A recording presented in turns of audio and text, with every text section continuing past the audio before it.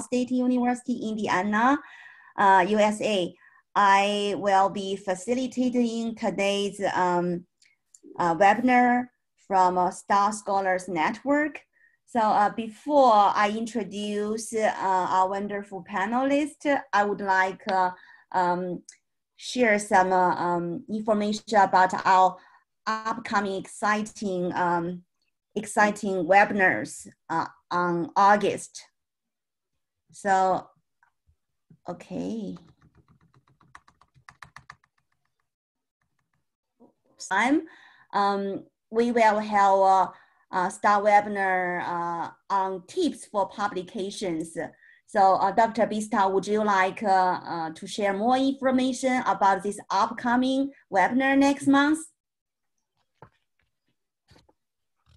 Absolutely, yes. This is the one of the uh, webinars. You know, we had a frequent request from our colleagues regarding on publications process. So we have invited um, a great, amazing colleagues who have published books this year in 2020. So, um, you know, the, some of the names, the Darla Deardorff, uh, we have David DiMaria, Rahul Choudaha, Catherine Gomez, Rajika Bhandari, um, we have Ly Tran from Australia, uh, and many other colleagues, Dr. Sam Sharma from SUNY. So they will be talking about their publication process and as well as the tips uh, for publication and collaboration with many of our colleagues. So that's the upcoming uh, webinars. Um, and we encourage all of you to uh, register and be the part of this process and have your questions, you know, answered um, in that session. Thank you. Back to you, Dr. Liu. Thank you, Dr. Bista. For more information about upcoming STAR webinar series or specific uh, uh, Zoom webinars, you can uh, visit uh, the website, our website, uh, STAR, um, uh, STAR Scholars Network, or and get email from um, STAR, okay? So Um, some folks may already know uh, STAR have initiated uh, a webinar series uh, called Public Health and Education in a Transnational Society. Uh, this is our this is our um, fourth webinar uh, under this series. Uh, today we will focus on to, uh, focus on talking COVID-19 and changes in higher education teaching and learning. Um, we have uh, three uh, panelists today, um, including Dr. Denise, Dr. Bista, and myself. Dr. Uh, Denise has uh, um, led the STAR ment mentoring initiatives. She has been included internationally for over 25 years in different universities. she has a rich experience uh, in establishing a branch campus for um, Suffolk University uh, in different uh, continents. And uh, um, under her leadership, the international student recruitment get significant increase, as you can see. And she also work on uh, developing a network of 10 international education um, consultants and work uh, with uh, different universities and colleagues in uh, many Asian countries and uh, European countries. So we are, very pleased to have her as our uh, panelist. So Dr. Bista um, is, a, as you already see and know uh, him well, he is an associate professor in Department of Advanced Study Leadership and Policy at uh, Morgan State uh, University. Uh, his research fo focus on college student experience regarding uh, classroom participation, um, perceptions of academic uh, integrity, learning strategy in higher education. She published uh, um, books regarding a uh, global perspective on international student experience in higher education tensions and uh, issues. She also um, working on a book series regarding global student mobility. So very, uh, very significant, important work. Uh, myself, I am um, um, assistant professor at Teachers College at, at Ball State University. Uh, my research interests including international student mobility, globalization and higher education, educational policy study, um, and also um, I'm interested, uh, my recent research project uh, uh, more on the role of international education in the formation of social elite. Okay, so um, in the next 30 minutes, you will hear uh, a presentation from Ms. Denise. She will provide us a holistic picture about how COVID-19 has interrupted and restructured many aspects of um, higher education, such as how students are recruited and admitted, where and how students are taught, how measurements are needed to safely rearrange classroom, etc. So after her presentation, Dr. Bista and I will join her to form a panel, to make a panel conversation um, that will focus more on discussing how we need to understand the change in higher education, teaching and learning caused by uh, COVID-19. And uh, after the panel conversation, we will have about a 10 minutes question uh, and answer. So that's the structure of today's webinar. So Dr. Denise, uh, Ms. Denise, are you ready for to start your presentation? I'm ready, Dr. Liu, and thank you for that very nice introduction. Thank you. So um, I want to thank each of you for joining us today for this webinar. And although I realize most of you are probably teachers or academics, um, I want to share with you that my area of expertise, with the exception of teaching enrollment management at uh, higher in a higher education master's program, my area of expertise is in the administrative functions of recruitment, admission, registration, retention, and graduation. So a lot of what you will hear today may not be directly uh, impacting you, but it it will it will impact you uh, in the future uh, because those beginning um, administrative functions, which have changed dramatically, will ultimately trickle down into what uh, academics and teachers and faculty do in the next uh, coming months. Next slide. We shall never again be as we were. I always love starting um, webinars like this with that quote because I believe um, one of the high, one of the most difficult things that we are facing right now is people believing that after we get a vaccine or after the, the confusion and the panic of COVID 19 passes, we will just go back to being what we were. In my opinion, that will never happen. There will never be a new normal. There will only be the normal. So, what impact, and I'm sure all of you participating in this webinar today could probably answer the question on this slide better than me. What we do know, next slide, what we do know is that COVID 19 has disrupted every aspect of higher education how we recruit students, how we register students, how students are taught, how they are arranged in, in classrooms if your university is planning to have in person classroom instructions.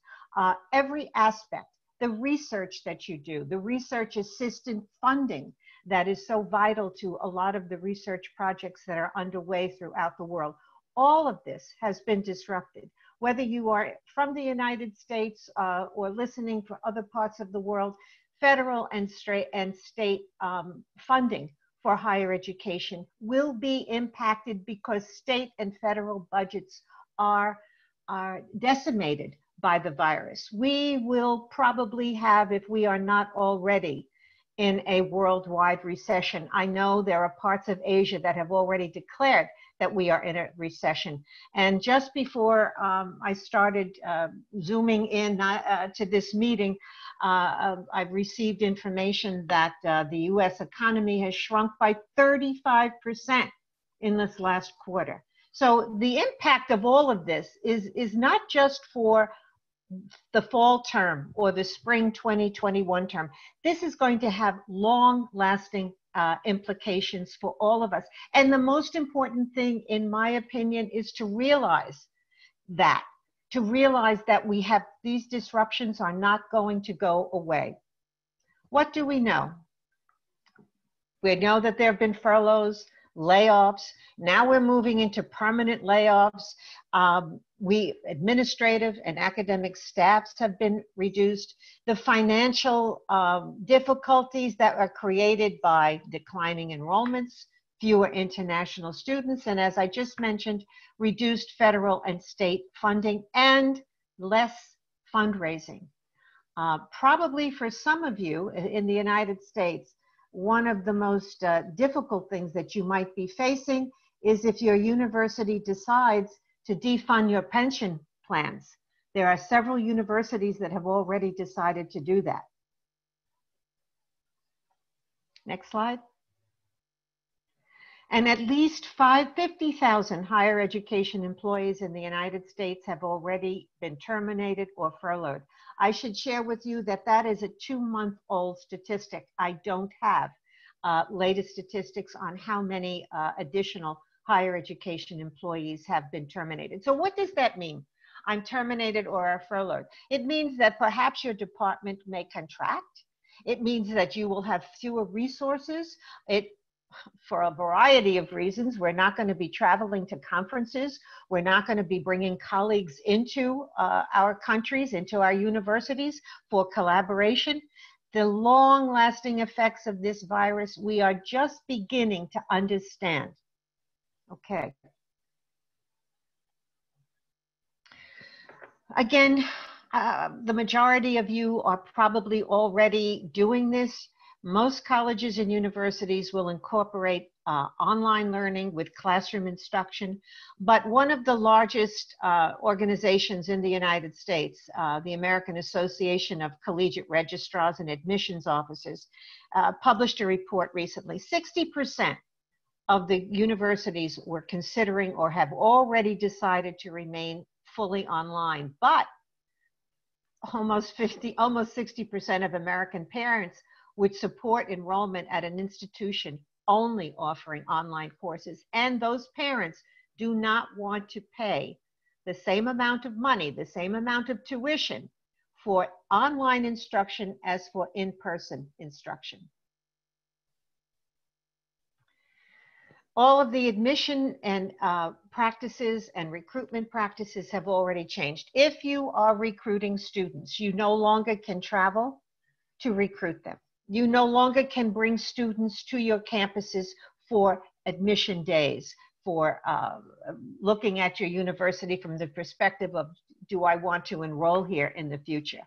And admission uh, based on SAT scores or ACT scores, I believe, will be a thing of the past. I do not believe that they will be coming back. And that has some positive implications.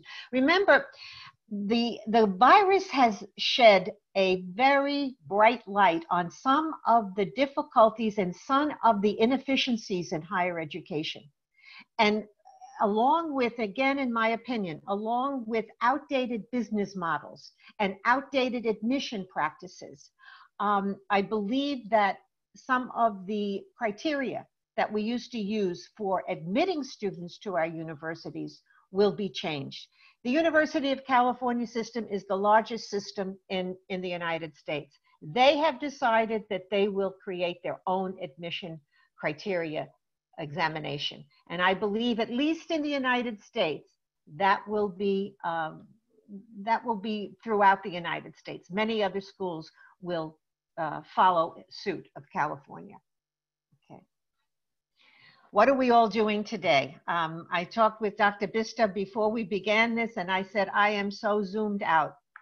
We are, this is the only way that we can communicate at this point in, in time. Whereas we would have gone to a conference. This would have been a conference that many of you would have heard me speak in person. We don't have that. Look at this figure from Zoom. I found this very interesting. And again, the latest uh, data that I have is from March 23rd. The average number of Zoom downloads was 56,000 in January. On March 23rd, on one day, it was 2.13 million. And I am certain that that is a much larger figure at this point. Zoom has, uh, or if it's IBM meetings that you use or other um, platforms, has its advantages and it has disadvantages, but this is one of the disruptions that will be with us for a while. In, next slide, please. In admission, we now have virtual admission tours, open house days, registration, academic conferences, none of the all of these things now are going to take place either from home or from office. I think it was that Google announced this week that all of their workers until the end of 2021 will be working from home. Now, they may know something that we don't, but it's an admission, in my estimation, that this, the disruptions caused by this virus in all of our industries, not just higher ed, but we're talking about higher ed today. But all of this disruption is going to be with us for a, a good long period of time. I liked this um, uh, quote from uh, professor at the University of, of uh, Toronto. The emotionally and spiritually sane response is to be prepared to be forever changed and at least from the colleagues that I have been dealing with, this is the most difficult thing for them to wrap their heads around. Because it it is change is difficult. It's difficult whether you're teaching whether you're a university president whether you're an admission officer whether you're the chief financial officer or whether you're fundraising. Change is very difficult whether it's in higher ed or any other industry but it is really, um, I think, the bedrock of, of where first what we have to understand before we can go forward. Next slide, please. What are some of the opportunities? Because there are always opportunities that that disasters or disruptions create. And so the first one that I see is the restructuring of the academic year combining both in-person and online learning. Why can't we have this? Why does it have to be that online learning is terrible or you can only have people in person? There are, um, there's one university in the United States that I am really fond of using this as an example. Very early on in March, they decided, because I believe their president has a vision, they decided that regardless of what the, the virus did, they were going to do it this way. They would bring their freshman class to campus. Everybody has a single room. They would bring their seniors to campus. Everybody has a single room. The sophomores and the juniors took their classes online. And in the next semester, they would switch. And that made a great deal of sense to me. It also gave, because I spoke to a parent of an accepted student at Haverford. It gave that parent a sense of security that the university was on track. They knew what they were doing. They had a vision of what they wanted to look like at the end of the semester. I believe that the two semester um, scenario is done. It's finished. I believe that we will have to create three semesters, a 12 month long academic year. And following that, there will be a 12 month admission and recruitment year where students are evaluated on a on a um, monthly or weekly basis in admissions. Why do why do students have to wait months to get a decision and all the decisions go out at once? If you have multiple times when you can enroll then you have to have multiple times when you can be accepted or denied to enroll and so I believe that there will be um, multiple times, multiple admission times when students will be notified. And I do believe the best admission offices will have that information going out 24 to 48 hours after review of credentials is complete. There is a, a, a slight bit of research to prove that um, some of some universities around the world are structuring gap years that make sense. They are um, they are effective. Some of the schools are creating um, gap year programs, which can then be translated into some academic credit.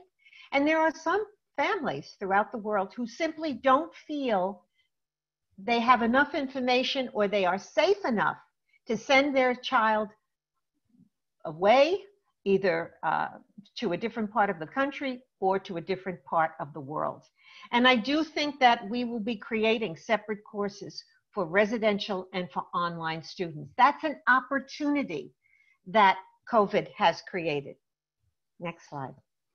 Uh, the business models um, need to be changed for a long time. New financing options were, we have so many financing options that are antiquated, and people are now asking, what am I paying money for? What am I getting out of this experience?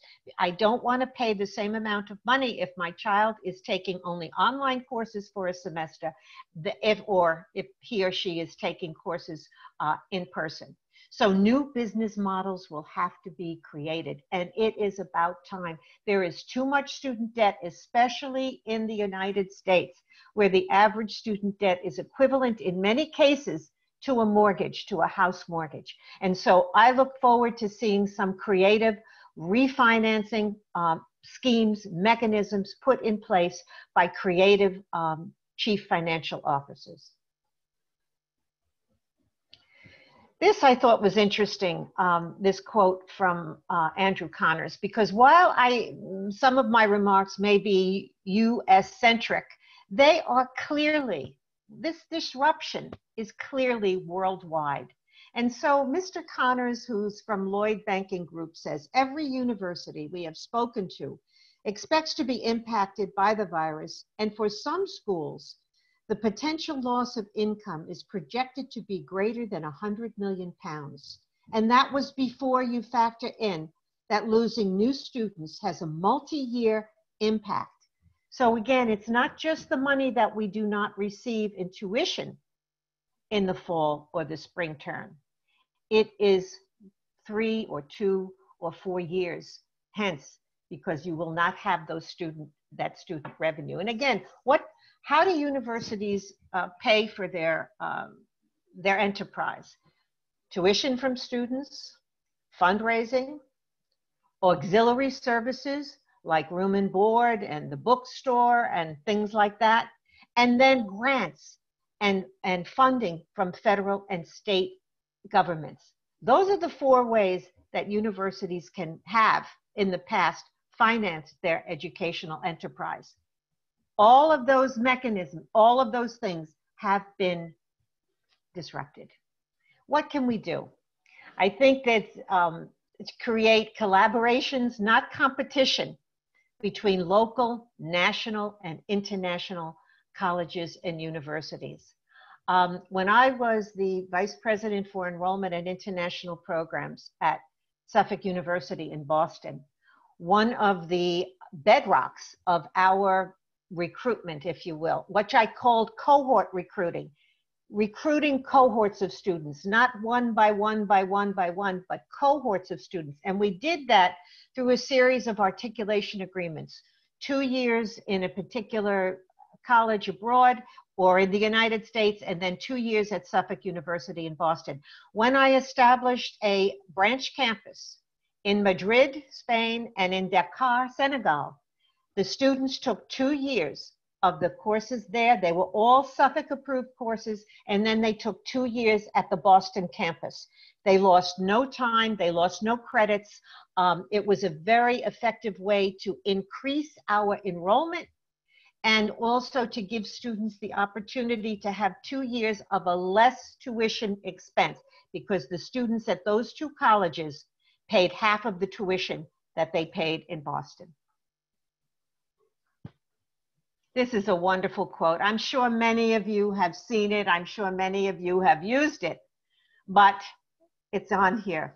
In 1665, Cambridge University was forced to close because of the plague. Isaac Newton decided to work from home. He discovered calculus and the laws of motion. Just saying. Um, this is a tremendous opportunity for us. Again, I was talking with Dr. Bista before we began speaking, and yesterday I was part of a panel discussion with uh, ministers from Canada, all over Canada, higher education ministers. And the theme is yes, disruption. The theme is yes, retraction. The theme is yes, change. But the business of higher education is change. That's really the, bit, the business of it. And I do believe that in the future, it is not the reworked university. It is not doing things at the margins and hoping that things will be okay, that students will come back, that the virus will magically disappear and never resurface. We don't know any of that.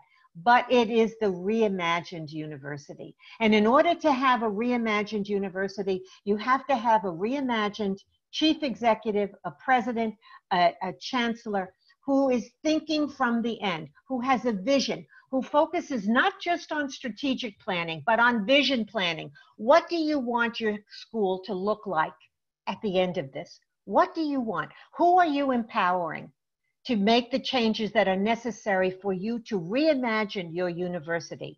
Do you have a chief innovation officer, somebody who is charged with creating a vision committee, not a strategic planning committee, but a vision committee where people who are not normally at the table, like the university registrar, like the career counselor, like the head of buildings and grounds, like a university professor who has an expertise in consumer spending, for example, and who could work with the admission office to help them to identify those applicants that are most likely to enroll based on consumer pattern of spending. The reimagined university, in my opinion, will be the greatest, the greatest residual, if you will, the greatest residual of this pandemic. And I, we're at the beginning of this discussion. Today, we, I could speak, and I'm, I hope that you would have questions that would keep us engaged for another hour. We don't have that time my time is already, I've already spoken more than I'm supposed to. So I will turn this back over to Dr. Liu and Dr. Bista um, and we'll hopefully continue with uh, some questions from you. But I do believe that um, this is an opportunity for us, not just a challenge, not just a disruption, not just um, terrible times. I believe we can use this time to reimagine ourselves, the work we do, how we teach, how we administer, and how we make this enterprise for our students, whether domestic or international, a, an experience that will last for the rest of their lives. Thank you.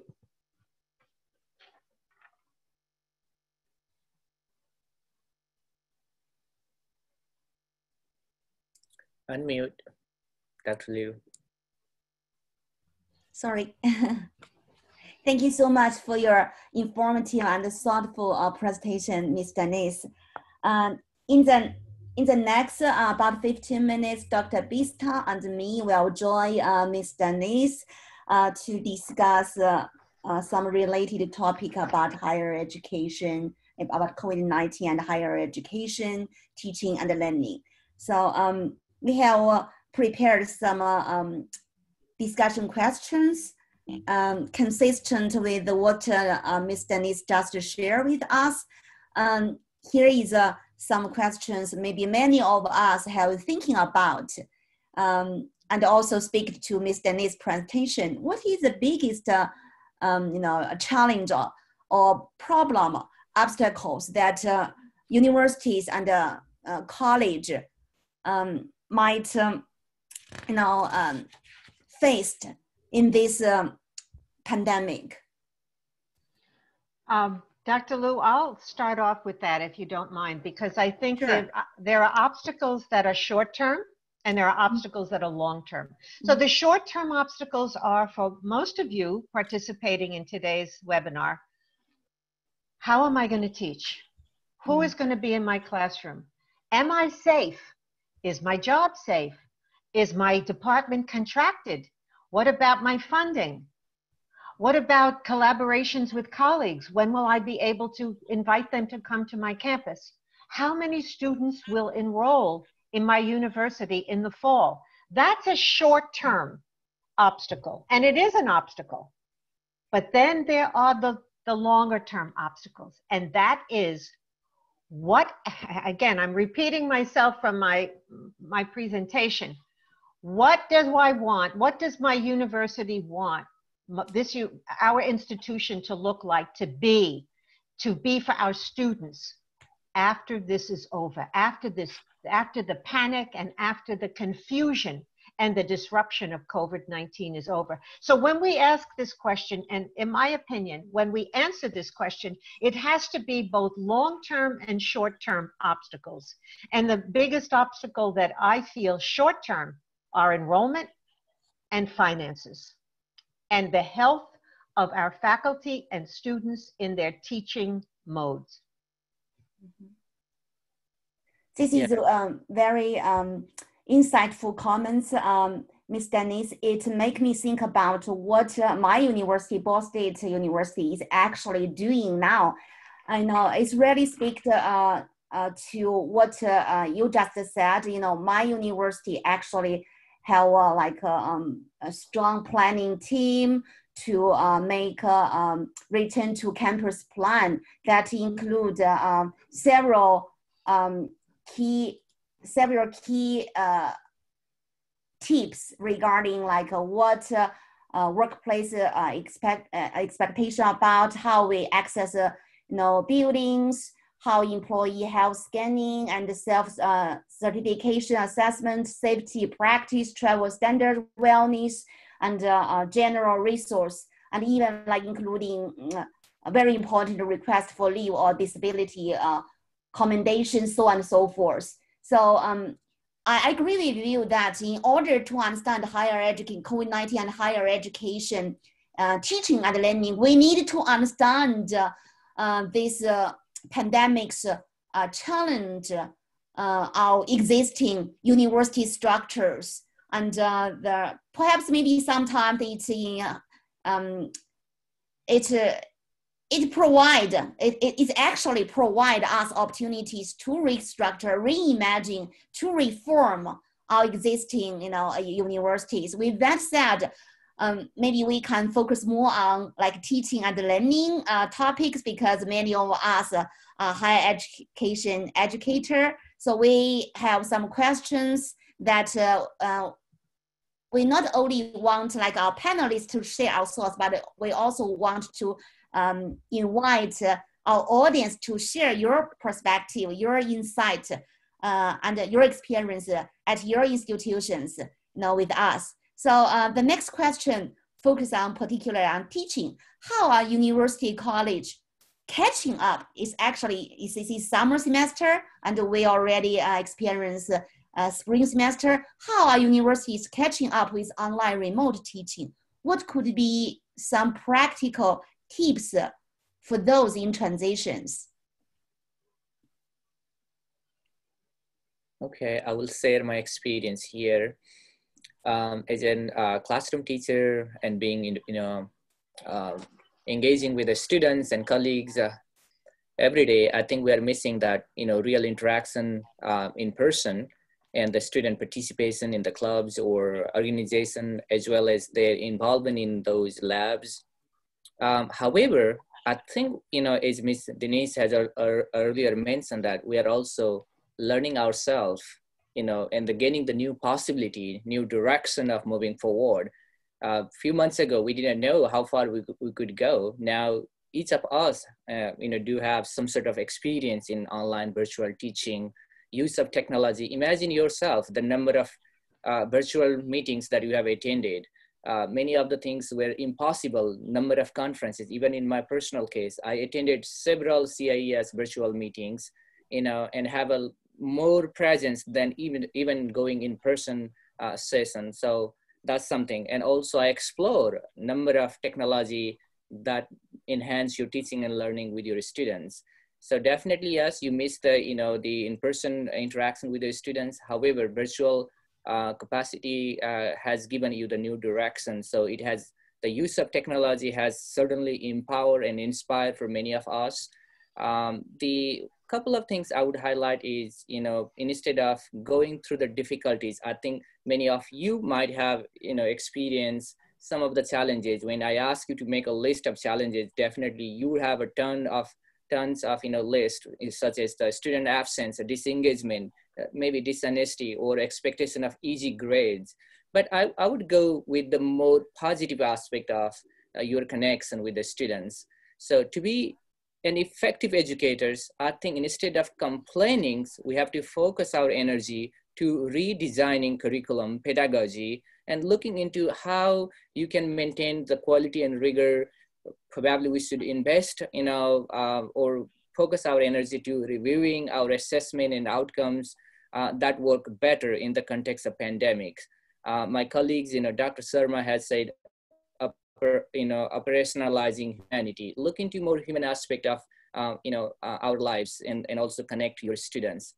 Maybe, you know, we need to ask frequently our students what location they are joining us, what their health situation looked like. Did they have any disruption in the family due to COVID, any death or any illness, you know, those things, reliability of their internet or even electricity, right? So sometimes we fail to look into those basic things that, you know, connects, that makes you probably an effective uh, educators.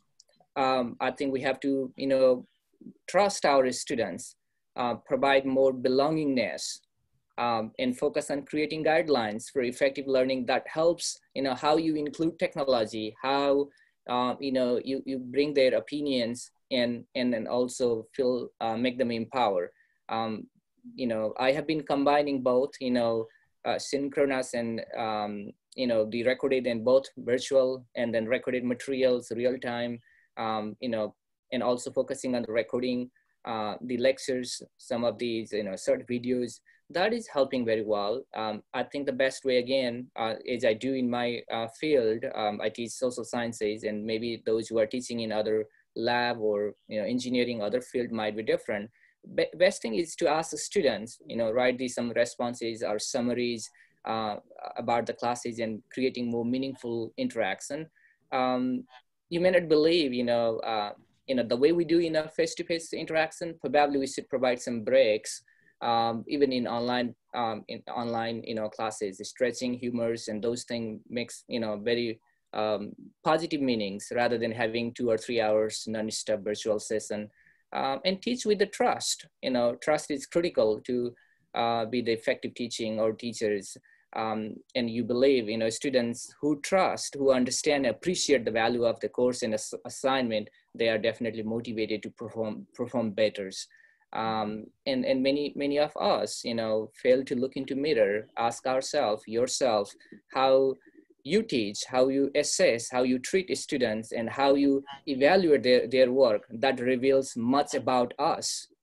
Um, so it, it has given an opportunity at least for me to look you know into my teaching practices how i do and how i cope with the situation with my uh, students the other thing I have been learning is, uh, you know, I teach both online and face-to-face, is adopting technology and learning as we go, uh, as we move forward. So, you know, you, probably you don't realize how much you are resisting to the technology, not making a positive shift. Um, you know, uh, Madam Denise has earlier mentioned the chief innovation officer. I think we should be that officer ourselves in our role. So if you are a faculty, if you are admin or staff, why not you consider yourself that innovative innovation officer uh, to innovate yourself, you know, provide, provide some, you know, um, incentive for yourself for doing something differently. Um, for me, I've been learning a lot now, you know, using the virtual background to developing some of the program courses or materials for the students uh, as, as their needs or as a student request. Um, so if you are a you know um, administrator, definitely yes, look into the you know best way to reward and provide in incentives for faculty member who are doing uh, things differently, and that's that's working better. Um, and at my university, uh, you know, senior level administrator are, are constantly asking faculty member if they have new ideas, if they want to collaborate, if they want to provide you know trainings or some experience, their experience with the fellow faculty members um, and it's working well despite you know the other chaos that's happening and this is global and you know taking place across the globes we don't have control and probably the best thing is to do what we can do now uh, so that's my you know reflection and back to you dr liu Thank you, Dr. Bista. Because uh, uh Dr. Bista and I uh, have worked uh, for years, I know him well. His research, uh, what I hear from him, uh, you know, it's he's not only talking about like um, some um, thoughts, insight about on these questions, on these discussion questions, but also he meaningfully connect his research focus as I, I just introduced at the beginning of this webinar. Uh, he has a strong expertise in student engagement, uh, faculty uh, and student relations, the role of advisors, you know, how we can think about learning strategies in higher education that can effectively engage students in this like a, not only face-to-face -face, class, but also online remote teaching that we, many of us have to do in this pandemic, right? So um, with my experience, uh, it's very interesting. I work at uh, Ball State University, uh, Teachers College. Uh, we have long tradition of providing our students uh, remote uh, distance, sometimes we call distance online education. Because for example, as a um, use my experience, I teach both um, master and PhD students um, course regarding uh, curriculum uh, development, curriculum studies, and many of my students are in classroom teachers. So each semester I take uh, uh I teach one face-to-face course on curriculum studies, you know, uh, and plus other you know online student uh, online course. So um, I feel like this um, this spring semester, this past spring semester, uh, I didn't find uh, um, my teaching um, helping um, dis- disrupted a lot in ter- from my end. But of course, uh, many of my students are K to 12 teachers. Their schedules, their work have been uh, significantly uh, dis- uh, disrupted. I, as like uh, Dr. Bista mentioned, you know, I have to, I need to think more about how I can bring um, student frustration, anxiety um, related to the pandemics to the course work, right? To re- required me to reconsider my teaching strategies. But in terms of the format of my teaching, because of my institution, Teachers College, have been work on the online distant education for years. We accumulated some, you know, um, remote uh, teaching experience uh, with a student. But for another department at my universities, many of our colleagues have been work um, on campus to teach uh, face-to-face class. Um, sometimes it has been challenging for them to move uh, their face-to-face uh, uh, classroom to online one. My university, um, you know, have um, well-used uh, division called Online Strategic Learning uh, Division Department to provide software and uh, um, workshop to faculties. So with that said, for example, um, in prepare for the reopening the fall semester, uh, and uh, during the summer, my university have do some uh, um, service for faculties to uh, collect the concern questions, problems, or requests, and using the summertime to prepare uh, to teach you know, faculties how to use uh, online module and even some like specific software to redesign uh, the, the course. This is something like uh, have happened in my university in terms of like a, uh, institutional change, institutional uh, response to how we can uh, engage students uh, in learning in the upcoming semesters and um, uh, prepare well prepared faculties to um, to well learn now uh, technology and uh, how to design um, curriculum in the, uh, using the online module. So, so that is my um, experience and perhaps maybe you know we can call the practical tips for um, institutions. Very interestingly, I want to share my uh, now uh, next experience with you. It's in spring uh, academic semester. I think it's 20, 2018 to 2019. I joined, participated in um, um, faculty learning community organized by um, online strategic learning at Ball State University. In that uh, learning community, many uh, faculties from uh, you know the whole campus to form um, a study study group to learn how to use uh, you know online tool to design uh, redesign curriculum engage the adult learner uh, into learning that is kind of like a, a prepared at least uh, you know um, the learning community uh, faculty learning community members so perhaps maybe for other institutions including my institution in the future you know we can do more on that um, this might be the part of what uh, um, Ms. Denise said, and you know how we reimagine you know higher education, you know some aspect of teaching learning. So I would like to say that. Mm-hmm. So with with that said, uh, I uh, we would like to hear from audience. What are your experience? What what are your um, you know um, thoughts regarding how does uh, COVID-19 impact the way in which, um, if you are student, student are, are taught at college, university, if you are faculty, you know, how you know this pandemic impact the way you taught. So this, uh, today's webinar is a little different from uh, from a previous one. When we want our audience have opportunity to engage this uh, uh, interactive conversation because the topic, you know, is related to all of us, right? So if you have thoughts, ideas you want to share, please join us. So we can combine Q&A session and uh, um, the panel conversation together to share your experience, your insights. That's right. You can unmute your microphone if mm -hmm. you mm-hmm. want to share some information. And I see uh, interesting in interaction going on in the chat room.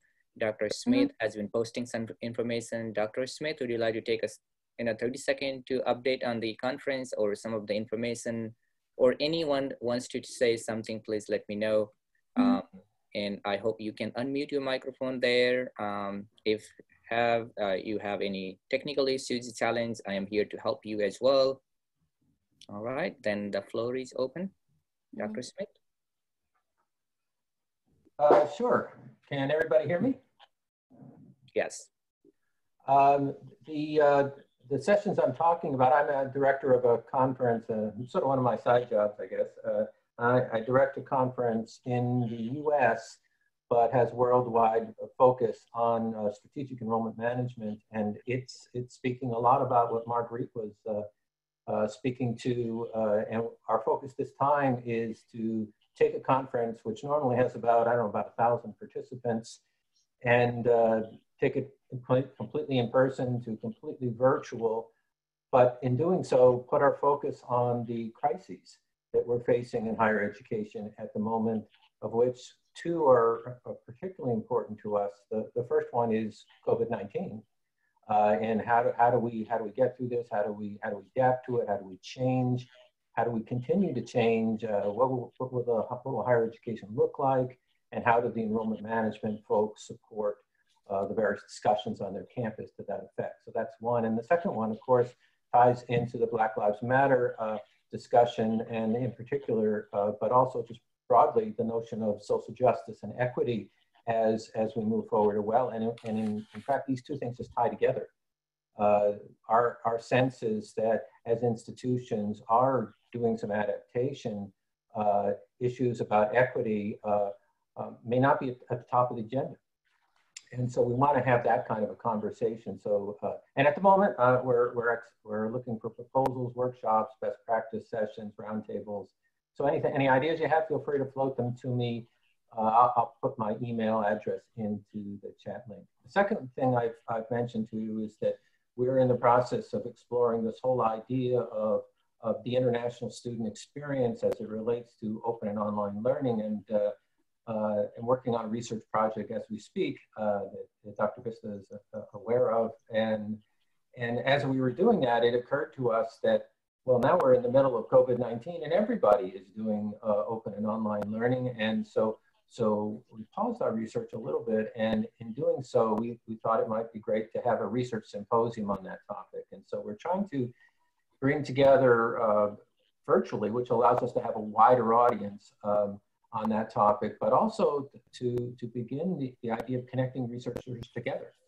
And so this particular research symposium will be a one-day event followed a week later by a, a one-day uh, networking uh, connection kind of opportunity. So those are the two things that I'm involved in. Uh, and uh, again, I want to thank uh, the organizers for this webinar. This is, this is spot on. Thanks. Thank you, appreciate it. And I see some of uh, our, our, other colleagues are also willing to say something. So next we have here Tina. Tina wants to say something. Tina, I guess you can unmute your microphone. Hi. Hi. Hi, good morning, everyone. Uh, it's good to see you all here. Um, I mean, yeah, I also, this summer is really crazy. I've been uh, changing all uh, curriculum and instructions to teach online. And also I'm teaching, uh, my most of the students are international students. So we needed to provide an online uh, seminar course for international students. Everything is just really crazy. And then one thing, um, that's why this, um, uh, uh, the webinar is so meaningful for me to think as a researcher and also as an educator, how we can deal with these situations as an opportunity. But one thing um, really makes me really, um, I mean, this is a question or we can discuss more. While listening to this uh, today's webinar, I've been thinking a lot about um, open education resources. And then um. Dr. Denise emphasized we needed to collaborate. But then um, I'm thinking collaborate with whom and how between institutions. And before that, I was I was very optimistic regarding open resource education. But then now I realized in this COVID-19 situation, to what extent and how much the institutions want to use and open their uh, educational resources and then at the um, their knowledge and then their skill set you know uh, and then also uh, the other um, my concern is that online education is not cheap but in somehow we have very wrong um, uh, how can I say stereotypes or perspectives. Online should be cheap online is cheap but that can be cheap once we have an infrastructure. But how many institutions are now ready to provide a quality online education, then I'm concerning that in this COVID-19 situation is threatening to the um, little small college and universities and or maybe bigger, larger universities um, can be dominant in this educational market. I, I, I hate to say the market, but you know, environment. And especially in the global wise, so luckily, the, um, my institution that I'm working, the University of Illinois Urbana-Champaign, we have a strong foundation and resources to support the students and faculty in terms of online education. But I don't know. Yes, I'm, I'm sorry, I'm, I'm rambling, but these are two my big concern in, um, in this COVID-19. Um, yeah. Thank Could you. I answer that, um, please?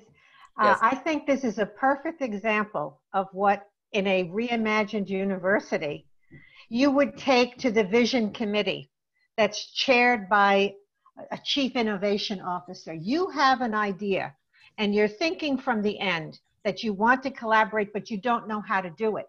Okay, you should not be uh, charged with doing that on your own. This should be taken to a committee that, that has been put together by your by the head of your university to take suggestions such as you have just made and make them happen. How can we collaborate? How can we how can we uh, get through the financial implications of a, a totally online uh, program? This is a perfect example of what i was trying to illustrate before and unfortunately we don't have enough time to go through all of that. But this is something that uh, not a strategic planning committee and not your department and not your department chair, but the university as a whole, because what you are suggesting would affect all, would impact all departments. And so I thank you for it because you've uh, you've illustrated to me, and I hadn't quite thought about it in that way. But this is a this is a question for your vision committee to answer. Thank so, you, uh, thank you so much. Uh, I know we have you know a couple of minutes left. Uh, I have a couple of questions here from other colleagues as well. So I'd like to invite Professor uh, Dr. Ratna Ghosh. Uh, she's the distinguished professor and then former uh, president of the CIES, our advisor of the um, Study Abroad and International Student Special Interest Group. Uh, she's from McGill University. So Professor Ghosh, uh, you have a question for us, right, for the panel? Yes, thank you so much. Uh, very, very, very interesting. Um, I'm particularly interested in uh, asking, do you have any ideas on how one can reimagine what we have been doing in the last few years, uh, something that has been increasing a lot, which is student and faculty mobility. How could we reimagine it? I mean, what do you have any ideas on that? Do we have another hour? Can we extend this for another hour? I do. And if you, um, uh, Dr. Poe, give me, uh, send me your contact information. I have put together uh, a series of informational bulletins on the Reimagined University that talks about this, but also I will be writing a white paper or a monograph outlining my ideas, not for the academic part, but for the administrative part and the international student mobility part of how we can reimagine. And I'd be happy to send that to you but it's a it's a great question we could i could speak for an hour on it because i've been spending the last four months reimagining what it would be like to work in a different kind of university where you don't have the silos where you don't have the restrictions where you don't have the but we never did it that way. I can't think out of the box. I can't think in the box. We have to have people who think with no box no box not in or out but no box. So please send me your contact information and I will send you what I have written so far on the Reimagined University and then send you my white paper when it's finished, when my research is finished. That would be very good for me. Good, thank I you. Been, I have been wondering, but I, I can't come up with many, very many ideas. So that would be extremely helpful for Please me. Please send you. me your contact information I and I will get it out to you within the next two days. Thank you so much. Bye. You're most welcome. Thank you. Thank you so much for all audience and uh, our panelists to, to share your um, you know, unique perspective, insights with all of us. Now today's conversation is quite dynamic. Yeah, the, the, the one hour is uh, definitely not enough. We will plan, you know, more uh, webinars. This is why, you know, webinar is uh, provide us a, a useful, uh, you know, platform to to share our concern, as Tina, you know, just share with us, and uh, um, Ms. Denise responded, and uh you know, uh, another co wonderful colleagues, uh, you know, ask the questions. We actually think about the webinar we initiated. It's just a starting starting point. You know, we have many, you know, uh, questions we need to think about. We want to use the platform um, for all of us to share um, our concern uh, and um, our idea. On the behalf of STAR uh, Scholars Network, I would like to thank you, Ms. Denise and Ms. Uh, Dr. Bista again for your um, presentation and um, your discussion. Um, and also want to, um, to thank you all audience for joining us today to share your concern questions. And STAR Scholars Network will offer us you know, another upcoming webinars regarding uh, higher education. The upcoming one in next month is regarding, um, is about uh, tips for publications. So to find more information, please visit uh, STAR uh, Scholars Network uh, website. So um, we will continue the conversation. Please email it to uh, the panelists if you have any question. Mm -hmm. If you have any question, um, now, this is uh, Ms. Denise uh, email address, myself, uh, Dr. Uh, Bistand, uh, Dr. Uh, Gali, the president of uh, STAR. So thank you for all of you joining today. Dr. Bista. Mhm. Uh, yeah, could you go to the one more slide? Um, the next before that. Yes, that's the one. one? The certificate one. Could, could you tell Okay. the, our guest uh, for those who are willing to get the certificates? Uh-huh. Okay, thank you.